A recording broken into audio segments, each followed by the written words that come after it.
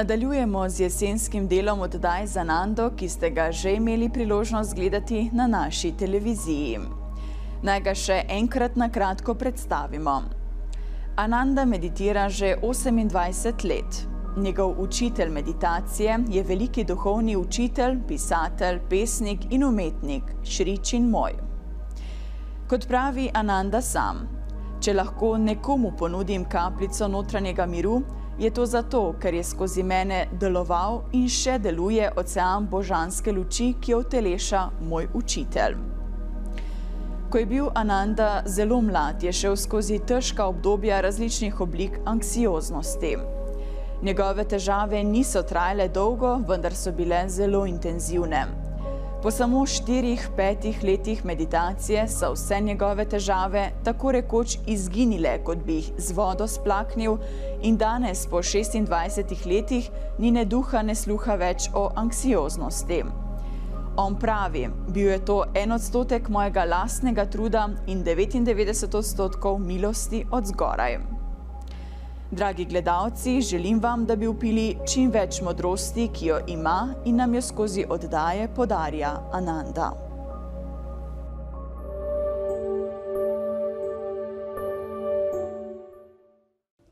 Dober večer, eh, drage gledalke in gledalci. Spet smo tu, da uh, povemo kakšno uh, pametno, modro, oziroma bolj modro. Uh, če se malo ustavim pri tem, pametno, uh, mogoče se ne boste strinjali z mano, ampak uh, uh, biti pameten je stvar izbire. Če je človek poln informacij, če je naštudiran, če veliko ve o zemljepisu, o zgodovini, ne, to pomeni biti poln informacij, potem rečemo, da veliko ve. Modrost je nekaj drugega, ni nujno, da imamo končano fakulteto ali srednjo šolo ali celo osnovno šolo. Ni nujno. Zato, ker modrost je nekaj, kar prihaja, kar je že v nas, samo poiskati jo moramo globoko v sebi.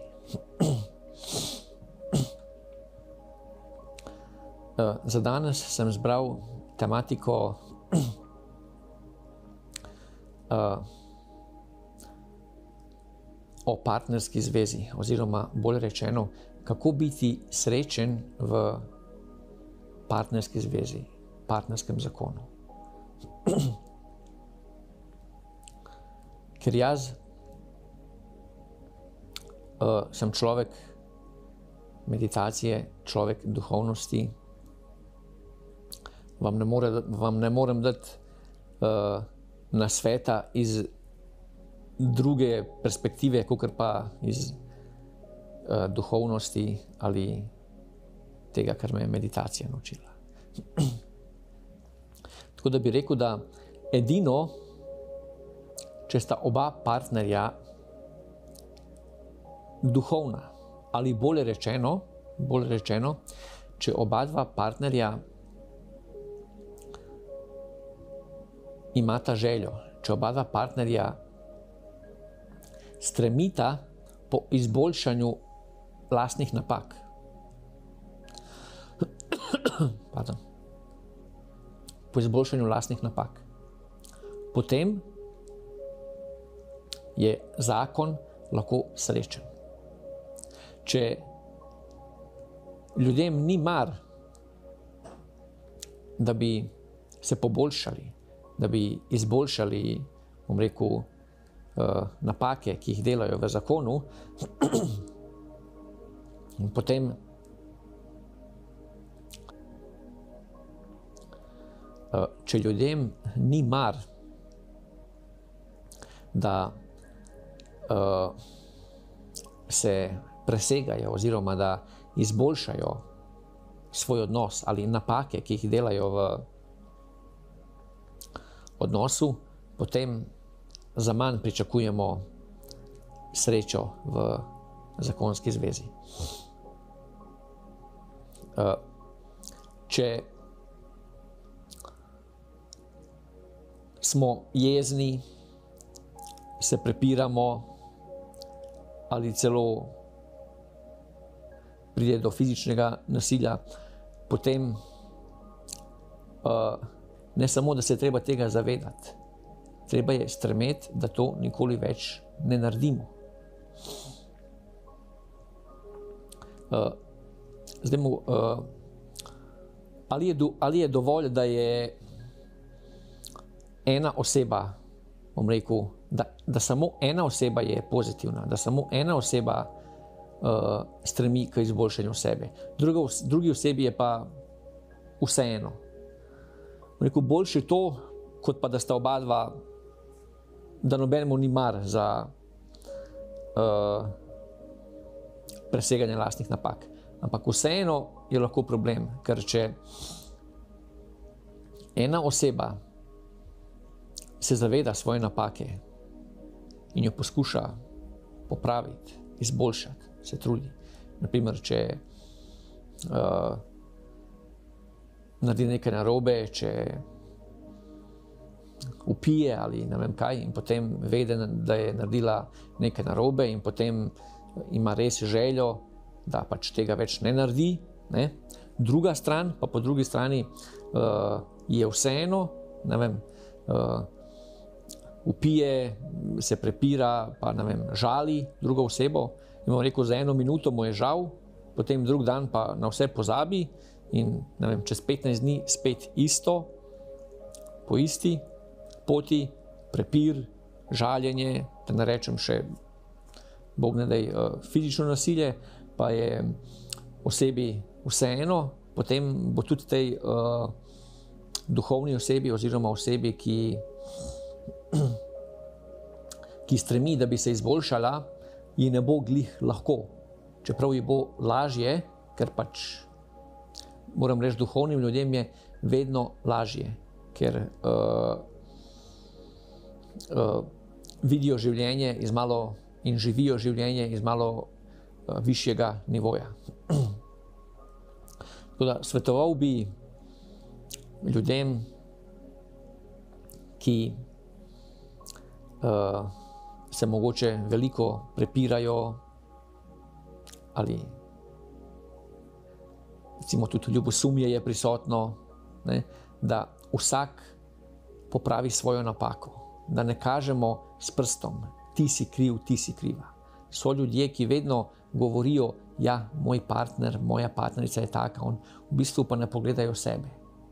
Uh, če bomo kazali s prstom, potem uh, v partnerskem življenju, v zakonu, v družbi in pa na svetu, nikoli ne bo uh, popolnost.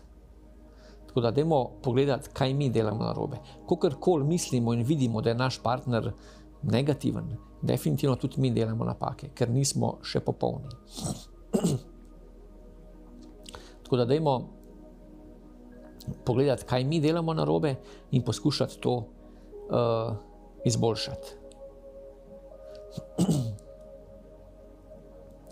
uh, se pravi, uh, srečen zakon, srečno partnersko življenje pride, ko ne kažemo s prstom v druge, ampak ko se vprašamo, kaj sem pa jaz naredila na robe, ali sem jaz lahko kaj boljše naredila. Včasih se zgodi, da pač določen partner res ni pač nič storil slabega, druga stran pa je. Potem pač na površino mora priti naše odpuščanje in enost. Razen, če pač bom rekel, uh, slaba dejanja druge strani niso, bom rekel, res destruktivna in pa konstantna. Potem moramo vedeti, se vprašati, ali ima smisla še ostati v zakonu ali ne uh, ena stvar, ki je še pomembna, je, ko naprimer se. Ko pride do prepira v zakonu, v bistvu, zakaj pride do prepira, naprimer, pač na en primer, Uh, dostkrat uh, eden ali drugi, po domače povedano, težijo drugemu. Uh, naredi to, pa tisto nisi naredil, pa ono nisi naredil, pa pospravil nisi za sabo, pa skuhu nisi, pa ne vem kaj. Jaz ne povem, jaz ne rečem, uh, treba je biti pač aktiven. Ampak včasih nekdo res uh, pretirava z tako imenovanim uh, teženjem. In če imate tak primer, potem lahko uh, nekaj modrega vprašate svojega partnerja. In to je, ne, če so mu rekel, uh, zahtevki vašega partnerja konstantni in pa mu rekel neutemeljeni, da lahko vprašate ali jo vprašate, ali hočeš mojo popolnost ali pa hočeš svoj mir. To je zelo modro vprašanje. Če je partner ali partnerica, če so iskreni, sploh ni nujno, da vam na glas povedo. Potem, ko bodo sami sabo, jim bo definitivno njihova vest, duša, jim bo rekla, da ja, res je pomembno, da res je bolj pomemben moj mir, res je bolj pomembno, da imam mir. Mesece in mesece, leta in leta poskušam spremeniti svojega uh, partnerja in mi ne uspe. Uh, sama sem nepopolna, sam sem nepopoln, tako da uh, boljše, da uh, gledam in probam izpopolniti svoje napake. In pa, uh, ker pač ne morem spremeniti svojega partnerja, je def, mi je definitivno bolj pomemben uh, moj notranji mir. In potem bo vaš partner, če pač bo tak odgovor, če bo hotel mir, bo, vam ne bo več težil, ampak bo rekel: Ok, moj mož ali pa žena danes ni skuhala ali skuhal kosila, ni, ni uh, pospravila, ni pometla, bom pa jaz. Samo da imam mir. Mir po vsako ceno. To naj vam bo moto. Če vam je moto v uh, partnerskem življenju mir po vsako ceno, potem bom rekel, ste zmagali. Potem je veliko dela narejenega. Uh, vsak si želi miru, tako da mir po vsako ceno. Uh, to naj vam bo moto. Uh, se pravi, ne težiti, uh, naredi ono, zakaj nisi tisto, zakaj nisi ono, ker potem sami sebe nervirate. Bolj vam je pomemben vaš mir, kot pa partnerjeva popolnost. Zato, ker ga ne morete vi spremeniti, on mora sam sebe spremeniti. Jaz ne rečem, da on mora ostati uh, tak, kakršen je, če pač bom rekel neaktiven. Ne, na njemu je, da se spremeni. Vsak človek lahko sam sebe spremeni. Mi drugih ne moremo spremeniti, če oni nimajo volje. Tako da naj bo naš moto mir po vsako ceno.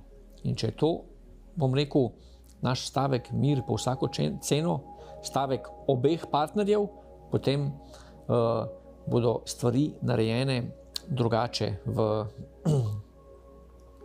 bolj popolno, drugače in bo uh, manj prepira, definitivno. Zdaj, lahko bi govoril o raznih uh, malenkostih, ki spremljajo partnersko življenje, pa potem bi pač porabil dalj časa, uro ali dve. Da mislim, da sem povedal osnovne stvari, tako da uh, ne kažemo s prstom v drugega, ampak uh, se vprašajmo, ali mi lahko kaj izboljšamo. Ne? Vedno moramo iti od sebe. Ne? V bistvu s tem, ko opazimo in vidimo napake drugih, ne dobimo nič. S tem, ko imamo stremljenje, da popravimo svoje napake, potem rastemo. Tudi vsak, vsak in mož in žena, partner, partnerica ali je to zakonska, izvenzakonska zveza, naj uh, poskuša uh, sebe spremeniti in ne kazati s prstom v druge. In pa ta stavek, naj vam bo, bom rekel, če imate probleme, uh, naj vam bo, bom rekel, v srcu mir po vsako ceno. Jaz pač vem, da obstajajo uh, ekstremi, pač ne bom jih zdaj imenoval, ne vem, mogoče uh, uh, kaj hujšega, ki pač ni za tolerirati.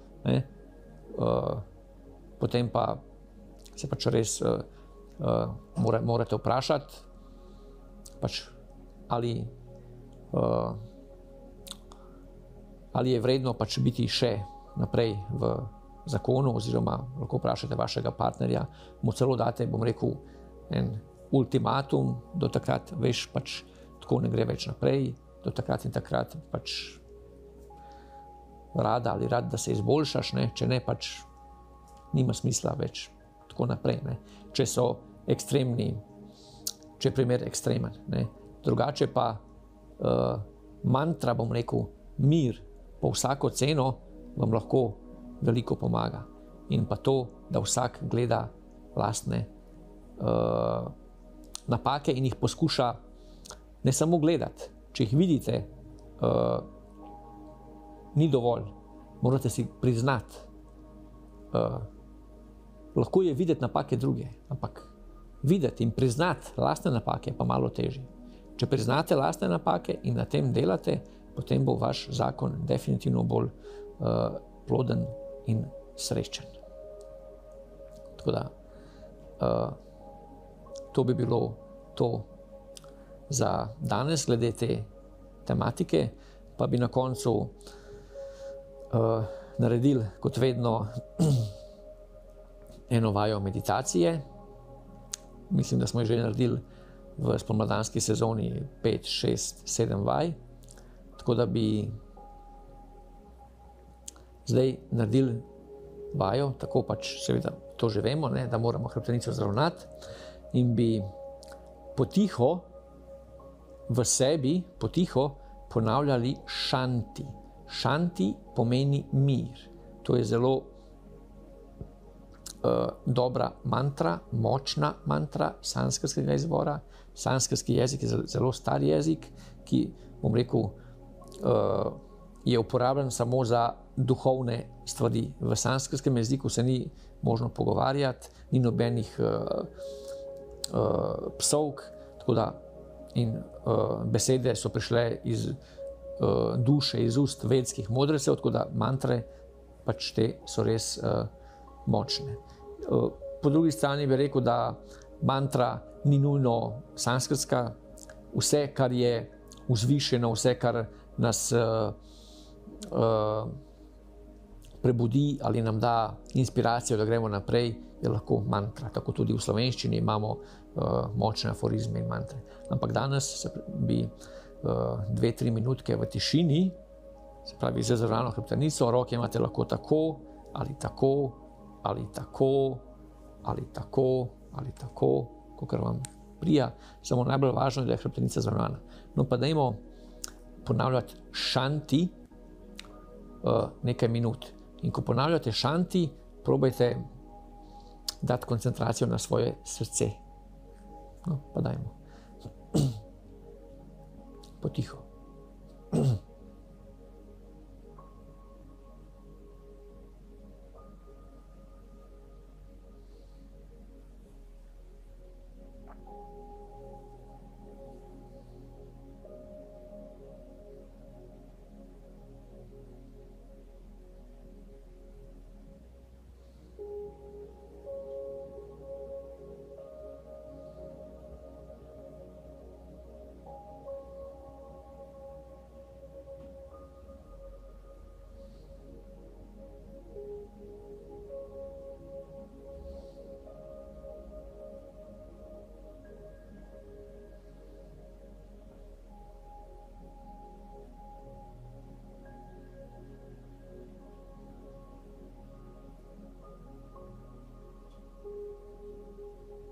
pravi, ponavljamo.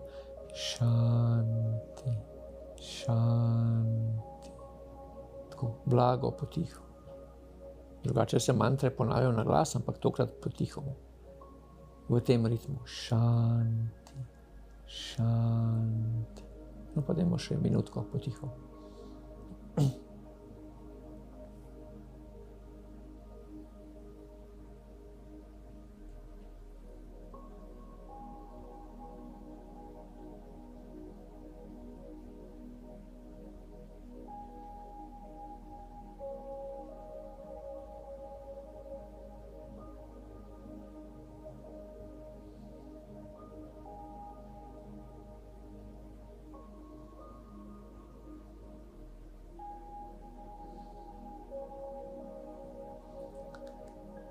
Dobro.